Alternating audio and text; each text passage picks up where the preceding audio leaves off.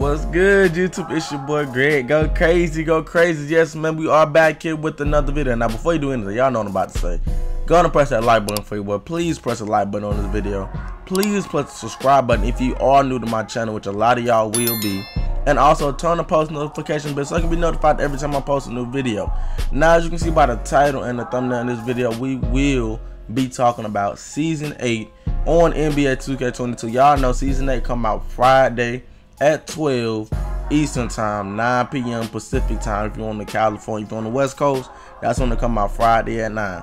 Now, as you can see by the title and the thumbnail, some of the things that they have in Season 8, you know, Season 8, now I don't believe it's to be bad. I just really care about the animation, see what animations gonna they're going to really release, you know, new dribble moves and all that. But, you know, we people was talking about it and, you know, by what you can tell is it's basically just gold. If you've seen the trailer today, they had Shaquille O'Neal with his four championships and all that. And basically what you're gonna get is season eight goggles, a basketball jersey, gold arm sleeves, shorts, hats, blah blah blah blah, etc. etc. Now they do have some of the gold things already in 2K. That's the craziest thing. Like, if you go in the NBA store, they got gold jerseys already of some NBA teams. So it's like, what's the hype about that? Y'all already added that, but you can earn a gold jersey, gold shorts. You can earn it as you progress to level 40 in NBA 2K22 if that's something you want to achieve.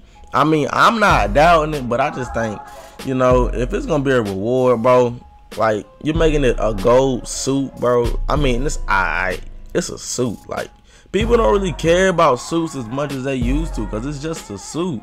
Like don't nobody really care about that. Like they could have did something better. I don't know what they could have did, but making the level for the reward is probably gonna be a suit. It's most likely gonna be a suit.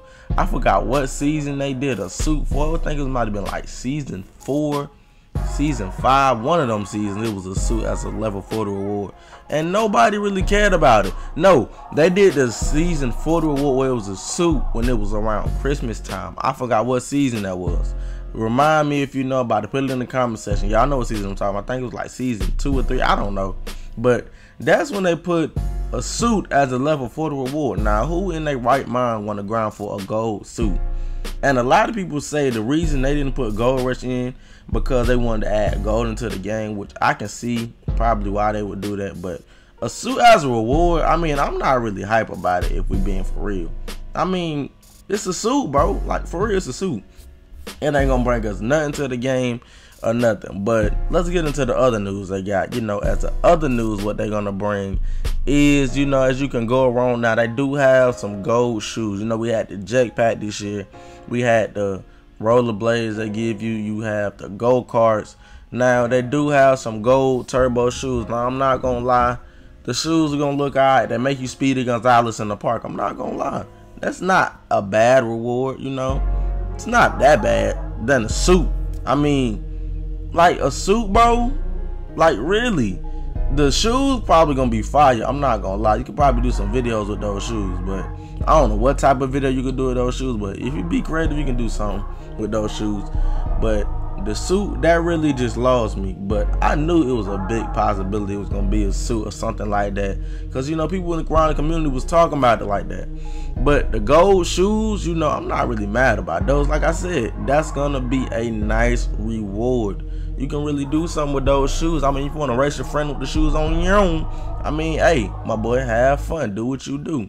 Now on a cruise ship, I wonder if they're gonna give y'all those shoes. I don't know if they're gonna give y'all the shoes. Because y'all know sometimes 2K do like to change awards for current gen that nation. But if people on current gen can get the shoes to which they probably will be, but I don't really know because y'all know how 2K is. But if y'all can be, it's not a bad reward, you know. It's average. It's a better reward than the suit. I'm gonna keep saying, I'm sorry, bro, but a suit, bro, that's just me. But now let's get into some of the other news. Now they are adding. This is for the my team players right here. If you don't play my team, you ain't gonna really care about this.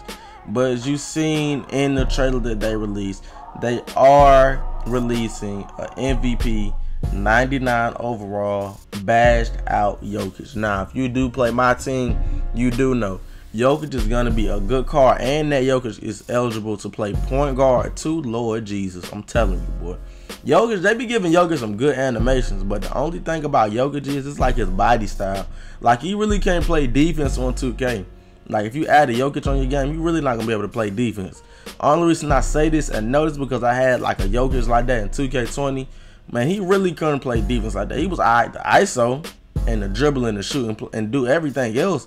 But defense, that ain't really his style. You got to get somebody else. But you see, do see they do have somebody to pair with that in game whip. Now, if you don't know about that in game whip, boy, you need to look them up. If you play my team, you know about that in game whip. But if you're a part player and you don't know about that in game whip, you need to look them up, boy. Now, they do have a new James Harden in-game card coming out too. Now, if y'all know anything, y'all know James Harden be cooking in 2K. Now that card is gonna be nice. I don't know how long he's going to last because he is six six, and if you think like me, the taller they are, the better they are. You know, we play my team, I'm trying to run the tallest lineup as possible.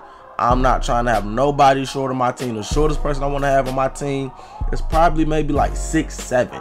Six seven is the shortest person I want on my my team. But that end game James Harden is gonna be good for content for the my team players.